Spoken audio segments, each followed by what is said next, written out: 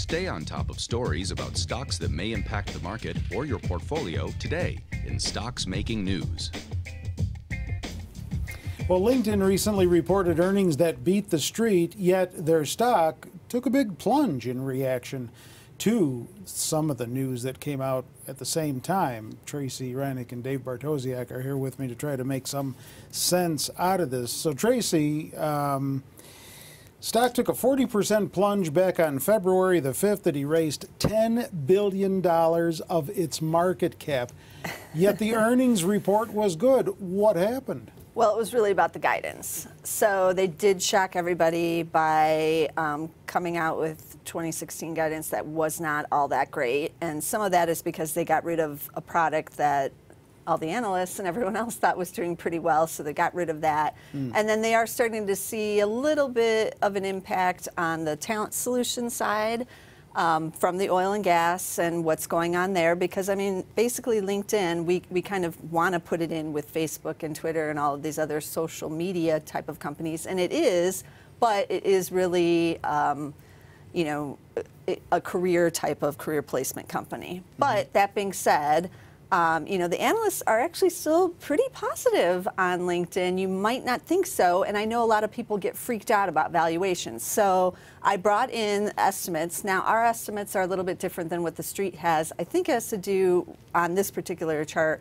with the stock options that we take out and that the rest of the street does not. But the trend is still what I really want you to look at here. And you can see it went from 75 cents to uh, way down, almost a dollar changed for 2016, and then also a similar pullback in 2017. You rarely see like this dramatic of a drop off, mm. and that's what has everyone spooked. Now, going off the street estimates with the share decline, they're trading around 30 to 35 times forward. Mm-hmm. That's not as expensive, obviously, as it was before, and um, it does still have growth going into next year. So the analysts actually kind of like it here. Um, I'm a still a little bit of dubious on the valuation aspect of it because I do think we're seeing a reset in all valuations. And um, so I would like it if it got a little bit cheaper here. But LinkedIn does have a unique platform, and it might not have as many users as Facebook or some of these other bigger social media sites, but it would take a lot for a competitor to go into that space and try to compete with it. So that's one of the reasons I still do like the name. Dave, shares in the social network have now fallen more than 50% so far this year, and we're only in February. Yeah. Trending worse than the major U.S. indexes, according to published data out there. So, how much further do you think it has to go? You know, that is a terrible day. Like, how much worse can it get?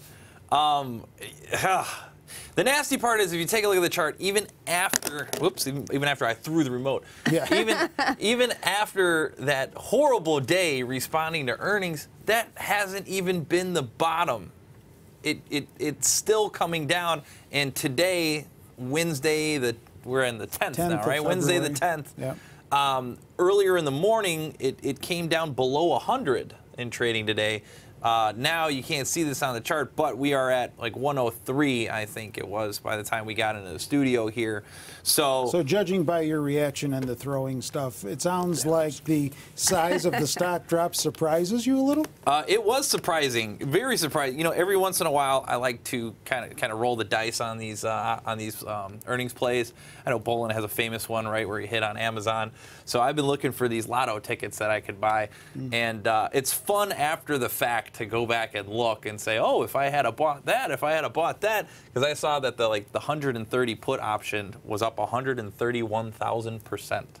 Wow. So you're talking a $200 bet would have been a quarter of a million dollars. Yeah. Um, so you see that kind of stuff and you get all excited. How much lower can it go? It broke below 100 earlier today.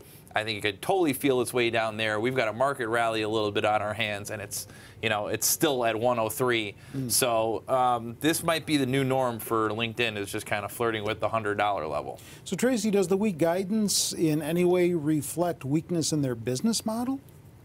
Um, yes and no. I mean, like I said, they're seeing a little bit in it in the talent solutions part, but. Mm Europe has been a little bit weaker. Actually, Asia has been a little bit weaker, but it's not 50% weaker. It's just that we're getting this reset on valuations, and now people aren't willing to pay as much as they were before for the growth. So, to me, again, I feel like this is a buying opportunity in a name you might not have been able to buy this cheaply for quite some time. Yeah, Dave, you think so too? I think so. I think it'll turn. You know, I'm on LinkedIn a lot.